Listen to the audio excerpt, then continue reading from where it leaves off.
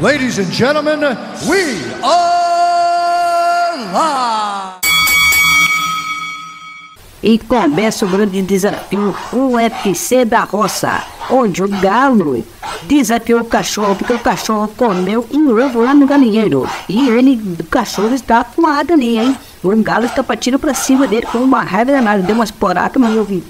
O cachorro se defende com jab, tá dando jabs e jabs e sai correndo. Então, segundo round. O Galo começa o segundo round muito pra cima do cachorro e bem, mas o cachorro está dando umas, umas latidas aqui, em vez de sentir muito o Galo, deu uma rasteira agora, deu um jab.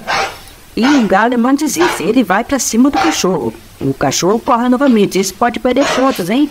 Olha que o cachorro vai perder pontos, está correndo do Galo. O Galo vai pra cima e está ensaiando um bote ali. Olha só, deu uma esporada, o cachorro derrubou ele em uma mordida. Deu uma mordida dele na cabeça do Dean Rubb, mesmo pronto. Ele tem uma estratégia muito legal aqui de dar um, uma, uns geles assim com duas patas. E vamos para o terceiro round. Quem será que está ganhando essa, luta fantástica aqui nessa roça maravilhosa aqui? Olha o cachorro para cima do galo. E apareceu o, o, o árbitro ali que interferia ali, mas o galo, o cachorro sai correndo. Isso é muito grande para ele, que ele está correndo. Isso pode perder ponto. O galo está mais para cima, vai para cima dele, corre atrás dele. Ele vem, dá um jab, uma mordida, segurou aí, segurou. Essa mordida foi forte, hein? Será que machucou o galo? Não, o galo tá, o galo tá bem, hein?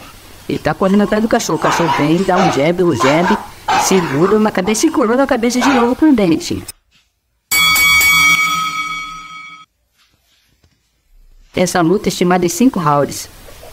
E apareceu ali o, o técnico do cachorro correu ali. O galo deu a hora, levou uma mordida de novo, hein? Mas, ó, de novo, tentou, derrubou, ele derrubou, ele deu uma mordida do galo, mas não, o galo não desiste, ele não desiste, ele é, ele é muito pra frente esse galo, hein? Ele está com raiva, porque o cachorro comeu um ovo lá no galinheiro. Olha, ele tá correndo atrás do cachorro, o cachorro deu o jab e tá correndo, levou uma esporada ali, e tá, mano, o galo, de novo tá correndo, olha, esse negócio de tá correndo aí pode perder ponto, hein? O galo tá ensaiando o bote, tá ensaiando o bote, vai dar não deu, o galo correu de novo. O cachorro, né? Sim, começa o quinto round, último round. O cachorro, o galo deu uma esporada, subiu, o cachorro pegou, pegou, pegou. Não, um jab, olha lá. O cachorro está com medo, ele está com medo, ó, correu, deu uma bicada, né? Quase deu uma bicada na bunda. De novo o galo, o galo que precisa, levou uma rasteira, de novo levou uma rasteira. Ele tem uma técnica de dar uma rasteira e uma mordida. Está latindo desse time do galo, mas ele saiu correndo de novo. Ele está pipocando, o cachorro está pipocando pro galo. Apesar do cachorro ter dado mais, mais golpes no carro, de novo, de olhão. De novo, hein? Apesar do cachorro estar mais ativo, ele dando os golpes mais eficientes, mas ele está correndo, isso pode perder ponto. De novo, tá correndo, olha. Isso pode prejudicar ele na soma total dos votos aí, hein?